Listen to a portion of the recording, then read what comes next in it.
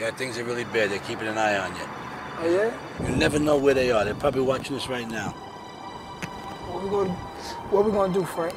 Well, well, you're hot as a pistol, man. You're hot as a pistol. You know what you got to do? You got to get rid of your car. See that Cadillac over there? That's your new ride. This way they don't know what's going on. So you'll be cool. All right?